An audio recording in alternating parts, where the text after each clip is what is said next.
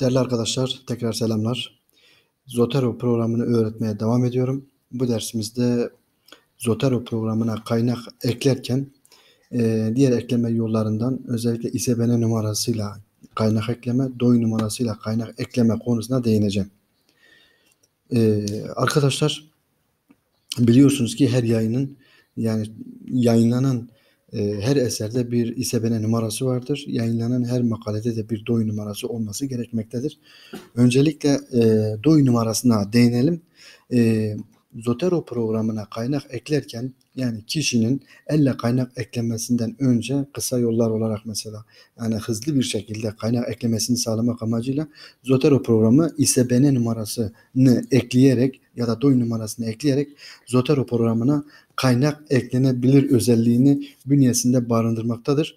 Bunun için bu butonu tıkladığımızda buradan bize bir ISBN numarasını eklememizi istiyor. Ben hemen elimde bir kaynak kitap var. O kaynak kitabın ISBN numarasını hemen oraya intikal ettiriyorum ve eserin ismini yani yazarını, başlığını yani kitabın ismini yazmadan sadece ISBN numarasını yazarak e, eserin künyesini otomatikmen Zotero programına hızlı bir şekilde ekliyorum. Hemen ISBN numarasını yazıyorum. 978 tire.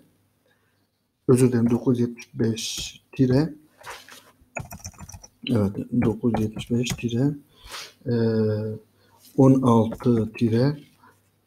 1806 1806 tire 1 evet böyle bir eser var Enter dedim. Şu anda internete bağlıyım. İnternete bağlı olmasaydım ISBN numarasıyla eser çağırıp ekleyemezdim.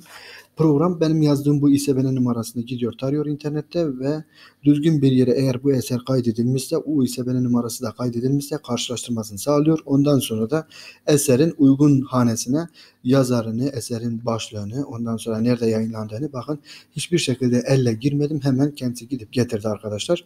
Şimdi peki bu her eser için geçerli midir? Genellikle günümüzde e, her eser için geçerlidir arkadaşlar. Kitaplarda bulunan ISBN numarasını koyarak deneyebiliriz. Fakat tam olarak da mesela çözülmüş bir sorun değildir. E, bir takım sıkıntılar vardır. Tabi bu da eser ekleme yollarından bir tanesi arkadaşlar. E, yine bir tane daha ekleyeyim. Onu da görün arkadaşlar. Yine ISBN numarası ekliyorum. Yine elime bir kaynak alıyorum. Kitap. Bu kitabın hemen e, ilk sayfasını çeviriyorum. ISBN numarasını tespit ediyorum. Hemen giriyorum. Evet. 605 tire 399 tire 3 5 tire 0 evet. Hemen diyorum enter'a basıyorum düzgün bir şekilde giriyorum bakın hemen eser geldi. Eserin künyesi yerini aldı arkadaşlar. Yani bu künyeyi mesela elle girmedim Program kendince gidip getirdi. Ben tekrar kontrol ediyorum. Eğer bir sıkıntı varsa onu düzeltiyorum. Bakın mesela burada işte tarih, kültür, kimlik. Bunlar mesela baş harfleri büyük olursa daha güzel olur.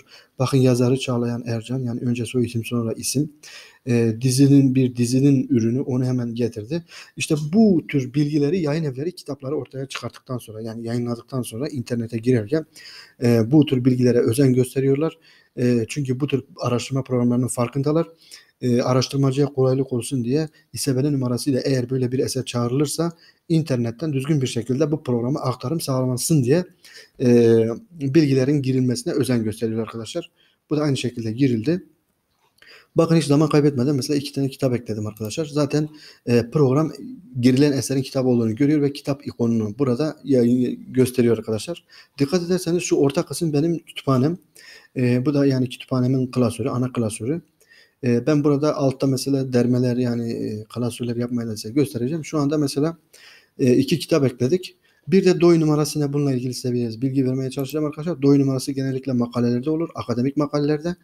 E, hemen bir makale açayım. Görün oradan. Bakın şu anda mesela bir e, dergi park sitesine geldim. Evet. E, şu anda Tarih ve Gelecek dergisindeyim. Akademik bir dergi arkadaşlar e, bu dergi yayınladığı her esere DOI numarası aktarmaktadır. Hemen görelim. Mesela buradan şu makaleye tıklayalım. DOI numarasını görelim. Bakın şurada DOI numarası var arkadaşlar. Bu DOI numarası e, makalenin bir adresidir. Ee, yani bazı mesela dergiler bile artık makalede isim soy isim onu yani yazarın ismini başlığını yani yazdığı eserin başlığını yazmasını istemiyor. Sadece doy numarasını yazıp ona atıf verilmesini de uygun görüyorlar. Çünkü neden doy numarası artık o makalenin künyesini kolay bir şekilde ulaşmamızı sağlayan bir adres. Bakın tıklıyorum buraya tekrar buraya gelecektir. Yani bu sayfaya gelecektir. Hemen pdf'yi açıp da numarayı size göstereyim.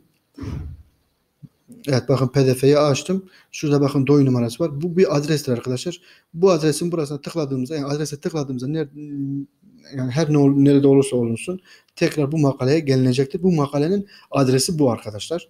Ee, bunun için mesela e, doy numarasını mesela eğer kağıt olarak mesela masamızın üzerinde bir e, makale var. Bu makalenin üzerinde de mesela bir doy numarası var. E, ben makalenin künyesini hızlı bir şekilde aktarmak istiyorum fakat e, yazmak istemiyorum. E, numarasını yazarsam çıkar mı diye bir e, fikir atıyorum ortaya. Zotero'nun bu konuda bize yardımcı olmasını diliyoruz. Hemen ne yapıyoruz Zotero'ya? Mesela önce doyu kopyalıyoruz. Bakın arkadaşlar düzgün bir şekilde kopyalamak lazım. E, kopyaladık. Bir tekst açtık. Yaz, yapıştırdık buraya. Şöyle şunu sileyim. Hı. Numarası şudur arkadaşlar. Şu. Evet. Doy numarası şudur. Şunu mesela bakın alıyorum, kopyalıyorum. Zotero programına geliyorum.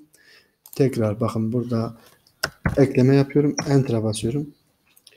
Görüyorsunuz gibi mesela bakın hemen e, makalenin künyesi otomatikman geldi. Kütüphaneme yerleşti arkadaşlar. E, bunu mesela bakın elle yazmadım. Kütüphanenin mesela künyesini yani şu künyeyi şu künyeyi elle yazmadım arkadaşlar. Hepsini program kendisi otomatik hazırlıyor.